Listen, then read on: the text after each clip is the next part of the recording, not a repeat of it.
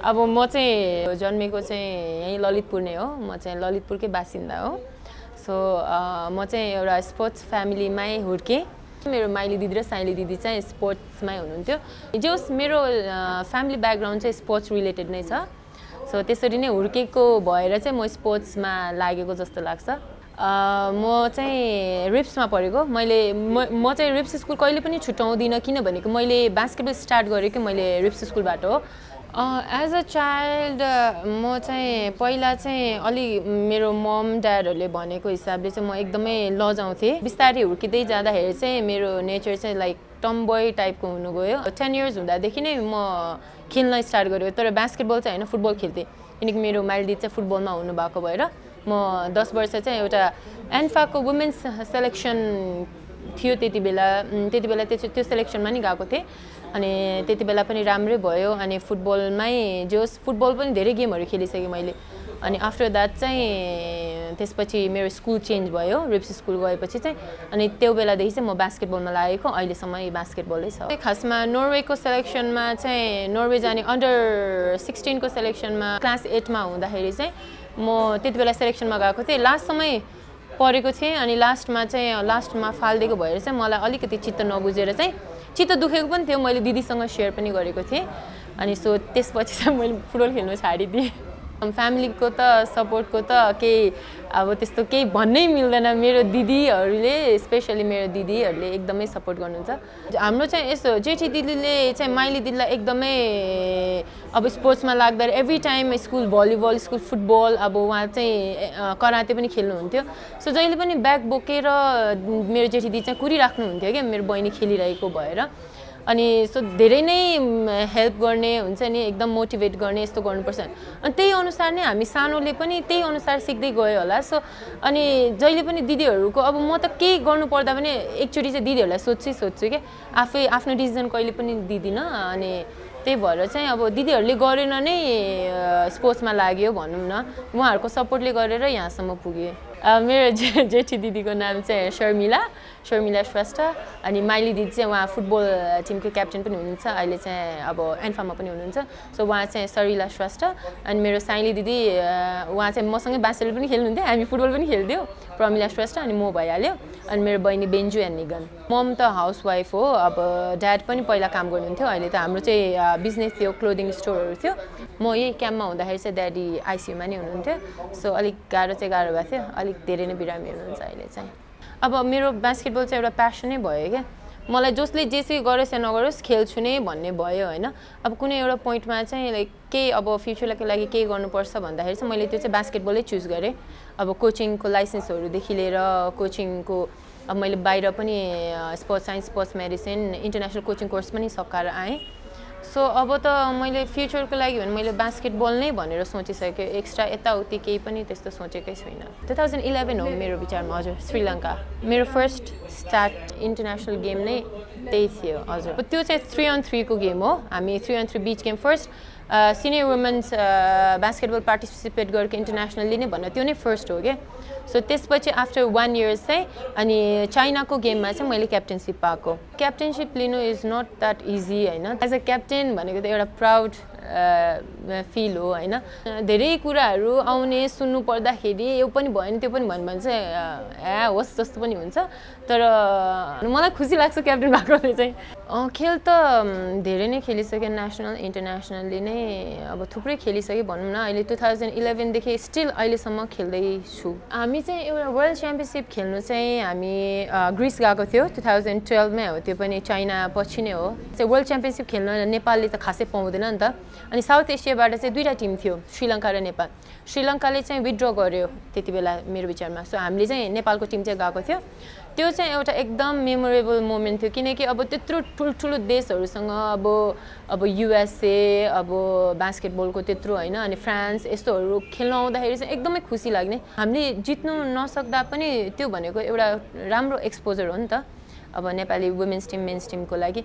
त्यो मोमेन्ट चाहिँ एकदम मेरो मेमोरेबल भनौँ न बास्केटबलमा अनि त्यो खेल्नु पाउँदाखेरि चाहिँ एकदम खुसी लागेको थियो। हार्दाखेरि पनि एकदम खुसी खुसी नै हार्यो जस्तो लाग्छ। तर हामीले गुड एक्सपोजर राम्रोसँग खेल्यौँ पनि त्यस्तो नराम्रोसँग पनि हारेनौँ। अब थ्री अन थ्री हो ट्वेन्टी वानमा एन्ड हुने गेम हो होइन?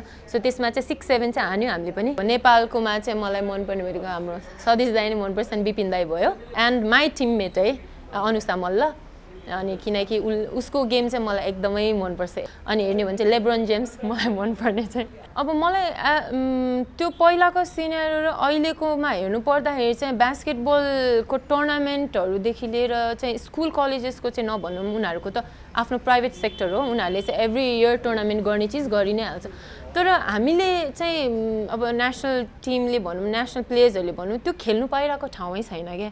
ब्याचलर लेभलको गेम भन्छ या कुनै क्लबले अर्गनाइज गरेको हुन्छ त्यसमा चाहिँ के भन्छ भनेदेखि नेसनल प्लेयर नट अलाउड भनिदिन्छ त्यस्तो चाहिँ नगरिदियो हुन्छ। हामीले चाहिँ कहाँ गएर खेल्ने भन्ने कुरा त्यो नै थाहा छैन क्या मलाई। नेसनल प्लेयर नट अलाउड भन्ने बित्तिकै त हामीले त नेसनल गेम एउटा मात्र खेल्नु पऱ्यो नि त। वर्षमा एकचोटि आउँछ। त्यो एउटालाई कुरेर बस्ने त कुरा हुँदैन नि त। सो तर ल ठिकै छ नेसनल प्लेयर खेल्दाखेरि अलिकति ल अरू टिमले जित्दैन। नेसनल टिमको नेसनल प्लेयरको टिमले जित्छ भनेपछि बरु नेसनल प्लेयरहरूलाई डिभाइड गरिदिनु। अब बाह्रजना छ या सोह्रजना छ या बिसजनै छ भने पनि दुई तिन दुई तिनजना चाहिँ एउटा टिममा हालिदियो भने त सबै टिम पनि त इक्वल हुन जान्छ नि त। त्यो गर्दै चाहिँ बेटर हुन्छ जस्तो लाग्छ। अब स्कुल कलेजेसको कुरा गर्नु पर्दाखेरि चाहिँ उनीहरूको चाहिँ बास्केटबल त फ्लोमा गइरहेको छ किनकि म पनि अहिले एउटा स्कुलमै अब काम गर्छु। अब हाम्रोमा इन्ट्रीहरू आउँदाखेरि लाइक फर्म्सहरू दिँदाखेरि धेरै स्कुलले अर्गनाइज गरिरहेको हुन्छ धेरै कलेजेसहरूले अर्गनाइज गरिरहेको हुन्छ। त्यो त राम्रो हो। तर अब त्यसपछि वाट नेक्स्ट भन्दाखेरि त सिनियर लेभलको प्लेयर्सहरूले त खेल्ने ठाउँै भएन नि त। नर्मली हामीले ट्रेनिङ त गरिरहेको हुन्छ तर ट्रेनिङ भन्दा पनि गेमै खेल्नु पाएन भने त्यो ट्रेनिङ गरे पनि के फाइदा भयो र जस्तो भयो क्या? म त साग हुने भयो भन्दा सबभन्दा फर्स्ट त त्यसमा एकदमै खुसी थिएँ। तर खुसी भन्नाले पनि अब हुने त भइसक्यो हामीलाई थाहा थियो तर मनमा पनि अब इन्फ्रास्ट्रक्चर केही पनि छैन हो एक त। त्यो पनि छैन भन्दाखेरि त लाइक लास्ट आवरमा गएर हुँदैन कि के हो हाम्रो त्यत्रो दुःख मेहनत खेर जान्छ कि के हो त्यो पनि त्यो पनि एउटा फिल अब म मात्र होइन एज अ बास्केटबल प्लेयर भएर मैले मात्र नभएर सबैको मुखबाट सुन्छ यो। किनकि सबैलाई भइरहेको थियो नि त। लास्ट आवरमा आएर फुटबल पनि भएन होइन वर्ल्ड कप क्वालिफाई गर्दाखेरि ल साउथ एसियन गेम त हुन्छ जस्तो भएको थियो। तर भयो त्यो सबभन्दा ठुलो कुरा हो होइन? अनि त्यसमाथि पनि बास्केटबल वुमेन्स बास्केटबलको इन्ट्री फर्स्ट टाइम हो। टु थाउजन्ड सिक्सटिनमा हामीले गुवाहाटीमा खेल्नु जाँदाखेरि त्यतिखेर इन्ट्री भइसकेको थियो र पनि त्यहाँ अब इन्डियन बास्केटबल एसोसिएसनको दुईवटा एसोसिएसन कि के को झगडा भएर चाहिँ हामीले त्यहाँसम्म गएर पनि मलाई त स्टिल थियो हामी मेरो लिस्ट त पक्का थियौँ क्या? किनकि हामी फ्रेन्डली खेल्यौँ नि जतिजनासँग फ्रेन्डली खेल्यौँ हामी सबैले जितेर आयौँ। अनि त्यतिखेर चाहिँ मन चाहिँ एकदमै नराम्रो लागेको थियो त्यत्रो मिहिनेत त्यति बेला पनि धेरै महिना मिहिनेत गऱ्यो। हामीले वान एन्ड हाफ मन्थ ब्याङ्ककमा ट्रेनिङ गरेको थियो। त्यो नहुँदाखेरि दुःख लागेको थियो र यसपालि साउथ एसियन गेम्स त्यत्रो क्याम्प गऱ्यो त्यत्रो बस्यो धरानमा दुई महिना बस्यो होइन। अनि त्यसपछि यहाँ आएर खेल्दाखेरि चाहिँ एकदमै खुसी लाग्यो। त्यसमाथि मेडलिस्ट हुनु पाउँदाखेरि त त्योभन्दा त ठुलो अचिभ केही नै हुन्छ र म एकदम कन्फिडेन्ट थिएँ किनकि मैले फ्रेन्डली म्याच खेलेको भएर अब लाइक भुटानहरूसँग अब मालदिप्सहरूसँग किनकि पहिला साउथ साबा पनि भइसकेको थियो। साउथ एसियन गेम्स नहुने बित्तिकै हाम्रो नेपालले नै होस्ट गरेको थियो साबा चाहिँ। त्यति बेला चाहिँ हामीले खेलेको हिसाबले चाहिँ मेडलिस्ट हुन्छ भनेर चाहिँ कन्फर्म नै थिएँ। तर कुन चाहिँ मेडल भनेर चाहिँ त्यो त अब मैले ठ्याक्क भन्नु सक्दिनँ नि त। सो इन्डिया एउटा नै हो मलाई पनि डर भइरहेको इन्डिया एउटा नै थियो सो त्यसमा चाहिँ गएर चुक्नु पुग्यो। अब त्यसको लागि चाहिँ अझै मिहिनेत गर्नुपर्छ होला हामीले। हाम्रो सेमी फाइनल एकदम टफ थियो होइन हामीलाई। अब हाम्रो मनमा चाहिँ श्रीलङ्कालाई मालदिप्सले हरायो। किनकि मालदिप्सलाई त हामीले त एकदमै एकदमै डिफ्रेन्समा हराएको थियो पहिला। तर श्रीलङ्कालाई मालदिप्सले हरायो भन्दाखेरि मालदिप्ससँग semi final is not that easy हामीले त्यस्तो इजिली लिएर चाहिँ खेल्नु मिल्दैन भनेर सोचेको थियो। तर अब फर्स्ट फर्स्ट क्वार्टरदेखि नै हामीले राम्रो के भन्छ स्कोर तानिरहेको थियो नि त। त्यसमाथि अनि राम्रो मेरो टिममेट्स हामीहरू सबैजनाले राम्रै खेलिरहेको थियो। तैपनि आत्तिनु चाहिँ धेरै नै आत्तिएको थिएँ। सेमी फाइनल चाहिँ एकदम टफ थियो क्या मन त यस्तो त्यो भित्र जाँदाखेरि मैले कहिलेकाहीँ त लस्टै हुने जस्तो कि के भइरहेको छ केही थाहा नहुने। त्यस्तो भइरहेको थियो अनि जितेपछि चाहिँ हाम्रो फाइनल चाहिँ त्यो जस्तो लागेको थियो। भाइ हामीले मलाई चाहिँ मेरो पर्सनल फिलिङ चाहिँ सेमी फाइनल चाहिँ फाइनल जस्तो लागेको थियो। किनकि हामीलाई पनि थाहा छ त्यत्रो अब बाहिर खेलेर आइसक्यो होइन इन्डिया भनेको एकदम पावर हाउस नै हो नि त। अनि डर त लागिरहेको थियो। अब र पनि अब फाइनलमा चाहिँ त्यस्तो इजी नदिने। भनेर नै खेल्यौँ। तर हार्दाखेरि पनि त्यस्तो चित्त चाहिँ दुखेको छैन। किनकि उनीहरूको फिजिक वाइज होइन फिजिकल्ली उनीहरूको अब त्यो नै लेभल नै धेरै माथि छ क्या हाम्रोभन्दा। अनि त्यसको लागि चाहिँ हामीले धेरै वर्क हार्ड गर्नै पर्छ। अब हाम्रो टल प्लेयरहरू नै कम छ। अब भनौँ न मेरो टिममा म जत्रो एक दुईजना होला। अब म नै त्यो फाइनल खेल्दाखेरि अब मेरो फ्यामिलीहरू आउँदाखेरि मैले मेरो बहिनीलाई नै देखिरहेको थिएन तिनीहरूको पछाडि कहाँ थियो भनेर भन्ने भइरहेको थियो। सो त्यही हो तर जोस् फाइनलमा चाहिँ अब टफ दिनु नसक्दा पनि हामीले जति दिन हन्ड्रेड पर्सेन्ट देख्नुपर्ने थियो त्यति चाहिँ दिएर खेलेको नजित्दा पनि दुःख चाहिँ लागेको छैन। प्रधानमन्त्री कार्यालयमा बोलाउनु भयो हामी गयौँ सबैजना एन्ड इन्डिभिजुअली जति मिहिनेत गरेको छ हामीले पनि त्यतिकै मिहिनेत गरेछौँ किन चाहिँ त्यो अब इक्वल नगर्नु भएको भन्ने कुरा मात्र हो नि त हाम्रो चाहिँ। अनि त्यसमाथि पनि ल अनाउन्स गर्दाखेरि टिम गेमलाई चाहिँ टिम गेमको गोल्ड मेडलिस्टलाई अनाउन्स गरेपछि एटलिस्ट सिल्भर र ब्रन्ज पनि छ भन्ने त सोच्नु पऱ्यो नि त। हामी पनि त वेट गरिरहेको छ हामीलाई पनि केही पाउँछ कि भने इट्स नट अबाउट त्यो पैसा पाउँछ भनेको होइन कि। तर हामीले त्यति दुःख गरेपछि त हामीलाई त मोटिभेट गर्नलाई त केही न केही त गर्नु पऱ्यो नि। हामीले चाहिँ मोटिभेसनको पार्ट चाहिँ एकदमै जेरो नै पायौँ कि। हामीले फर्स्ट टाइम इन्ट्री गरेको चारवटा category men's women's full court अनि three on three full court होइन? Three X three full court हामी चारवटामा चारैवटामा मेडलिस्ट छ। त्यो भनेको त हाम्रो दुःखको कमाइ हो नि त। तर त्यो पनि सबैले बुझिदिँदाखेरि त हुन्थ्यो नि। एज अ गभर्मेन्टले चाहिँ तपाईँहरूलाई यसरी पुरस्कार दिँदैछ भनेर भनेको हामी पनि त खुसी हुन्थ्यो नि। अब सबैलाई चाहिँ त्यत्रो त्यत्रो अमाउन्टको उयो राखिदिएपछि अनि गोल्ड मेडलिस्टलाई मात्र भनेर भन्दाखेरि त अलिकति चित्त बुझेन। अनाउन्स गर्दाखेरि नौ लाख अनि त्यसपछि डबल मेडल पाउनेलाई एघार लाख होइन? अनि सिल्भर मेडलिस्टलाई छ लाख। अनि ब्रोन्जलाई तिन लाख भन्दाखेरि त सबजना खुसी नै थियो। तर त्यो इन्डिभिजुअलको लागि हो भनेर भन्दाखेरि त लस अब चाहिँ त्यो टिम गेमलाई चाहिँ घट्ने नै भयो भने त सोचेको थियो। तर टिम गेमको गोल्ड मेडलिस्टलाई चाहिँ पाँच लाख भन्यो। त्यसपछि जानुभयो। त्यसपछि केही पनि थिएन। सिल्भर कहाँ छ? ब्रन्ज कहाँ छ त थाहा नै छैन। अनि त्यसपछि मात्र मुड अफ भएको। मुड अफ भन्नाले पनि चित्त नबुझेको भन्नु पऱ्यो जतिखेर नि भन्नुहुन्छ होइन अब फुटबलको लागि स्टेडियम बनाइदिने अब अहिले भलिबलले राम्रो गरिरहेछ भलिबलको लागि अब स्टेडियम बनाइदिने। तर बास्केटबलको लागि चाहिँ कहिले चाहिँ भन्ने हाम्रो लागि स्टेडियम बनाइदिने भनेर। हामी त्यसो भए त अरूकै कोर्टमा सधैँ खेल्ने भयो नि त। सबैभन्दा मेन त हाम्रो लागि पनि केही गरिदियोस् हाम्रो लागि पनि एउटा स्टेडियम बनाइदियोस् इन्डोर कोर्ट बनाइदियो भने त भइहाल्यो नि त्योभन्दा चाहिँ केही चाहिँदैन मलाई चाहिँ गभर्मेन्टबाट चाहिँ जे होस् प्लेयर्सहरूको लागि चाहिँ इन्फ्रास्ट्रक्चर डेभलपमेन्ट सबैको लागि आफ्नो आफ्नो स्टेडियम बनाइदियोस् त्यति भए पुग्छ। अब ओभरअल हेर्नु पर्दाखेरि चाहिँ हामी एकअर्कासँग कुरा गर्दाखेरि चाहिँ यो चाहिँ भएन जस्तो एटलिस्ट हाम्रो लागि पनि अलिक केही सोच्दै हुन्थ्यो जस्तो लाग्यो। अब सबैजना विदेश जानुको कारणै त्यही हो।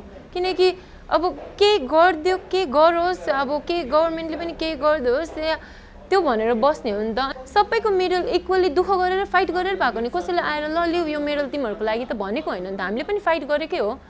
तर मेडलको भ्याल्यु पनि दिएन जस्तो लाग्यो कि क्याम्प हुने चाहिँ भत्ता पाउँछ हामीले एभ्री डेको हिसाबले होइन। त्यो भत्ता पाउँछ अनि आफ्टर त्यो गेम पछि चाहिँ केही पनि छैन। नथिङ एज अ मैले अहिलेसम्म त मैले त्यो गेम खेल्दाखेरि क्याम्पको भत्ता पाउने हो अनि गेमको भत्ता पाउने हो द्याट्स इट त्यसपछि त म मेरो काम गरिहाल्छु स्कुलमा अनि त्यति नै त्यही नै हो। डिपेन्डेन्ट त अरू ठाउँमै हुनुपर्ने हो हामी काम गऱ्यो अहिले त यो क्याम्प पाँच महिनाको क्याम्पले त मेरो टिममेट्सदेखि लिएर धेरै कुरा गर्नुपर्दा सबैको जब पनि छुटिसक्यो। किनकि कुनै पनि एउटा संस्थाले कुनै पनि संस्थाले आफूलाई घाटा हुने गरेर त राख्दैन नि त। फाइभ फाइभ मन्थ्स लिभ दिनु भनेको उनीहरूले पनि त घाटा खाइरहेको छ नि। काम पनि छैन अब भत्ता आउने त्यही गेम खेल्नु जेल हो त्यसपछि त छैन। मैले बास्केटबल बाहेक अरू केही गर्छु भन्ने त अहिलेसम्म सोचेकै छैन। सोचेकै छैन। अब बास्केटबल अब मेरो अब अब प्लेयर पछि आफ्टर रिटायरमेन्ट या मैले बाँसेर खेल्न छोडेपछि के गर्छु भन्दाखेरि चाहिँ म कोचिङ नै हो। किनकि मैले कोचिङ पनि ओभरअल सबै गरेर आइसकेको छु। मैले लाइसेन्स लिएर आइसकेको छु। त्यो यसपछि त म बाँसेर कोचिङै गर्छु।